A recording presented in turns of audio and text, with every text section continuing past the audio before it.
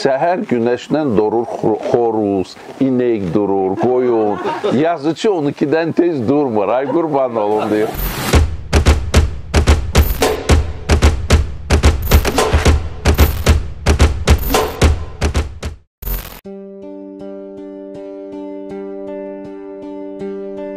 Mən sizə deyim, Faulkner Nobel mükafatı alanda dedi ki, əsl ədəbiyyat insana kömək eləyir bu dünyada yaşamağa. Əsl ədəbiyyat və doğrudan da ədəbiyyat kömək eləyir insana yaşamağa. İnsanı mənim bir kitabım var Allah tərəfində.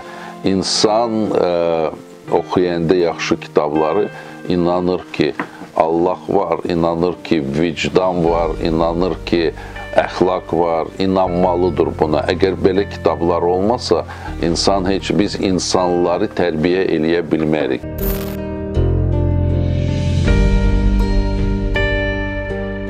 Bu çox maraqlı mövzudur, amma əslində ə, oxuculardan çox şey asılıdır təbii.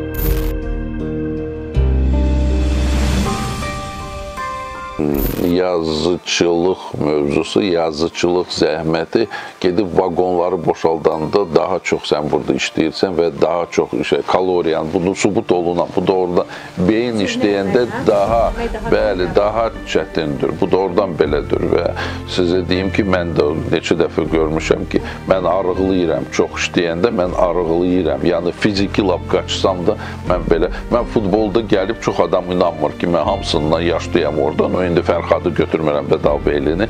Mən ə, ayaq üstə dururam 2-3 saat. Orada idmançılar dözmürlər, otururlar ki, futbola baxanda. Amma mən həmişə ayaq üstə durub baxıram futbola.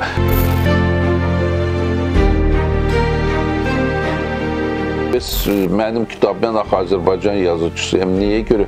Görünür sən belə yazmalısan ki, dünyada onu qab, universal bir şey. Otello deyəndə biz bilirik nəyə deyirik, necə qısqanırdı, necə. O belə yazmışdı, görürüz 16-cı əsrdəki bu günəcən o Romeo Juliet, Leyli Mecnun deyəndə hamısı başa düşür bu nədir. Görünür sən belə, mən həmişə deyirəm, bəli, Faulkner balaca kənddən yazırdı, amma kəndi dünya səviyyənə qaldırmışdı.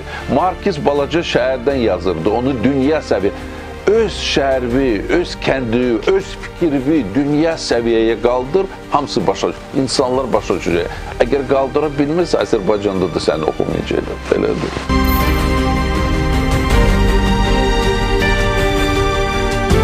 Biz valideynlər nə istəyirik? Əsas 99% istəyir ki, uşağı uğurlu olsun.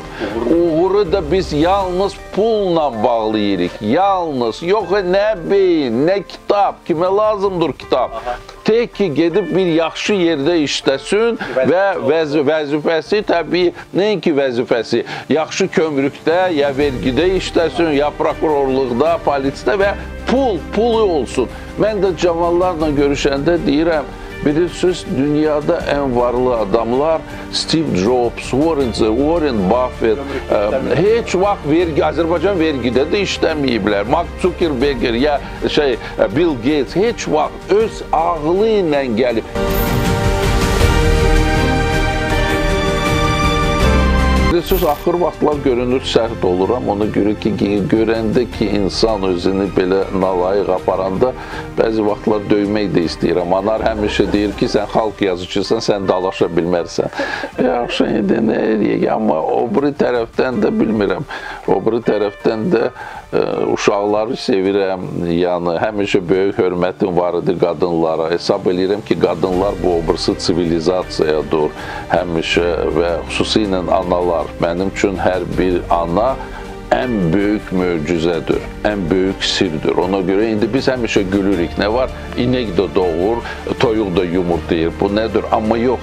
Analar şuur doğurlar. Başa bu mənim üçün belə belə belə böyük sirdir və analar ən böyük dünyada ən böyük sirri bilirlər. Kişilər bunu bilmirlər. Bax ana otursun sizinlə danışsın, gülsün, işə gəlsin, amma beyni oradadır, uşaqladır. O həmişə öz uşağını fikirləşir. Onun uşağı da olsa onu da fikirləşəcək. Həmişə qoy nə olur olsun.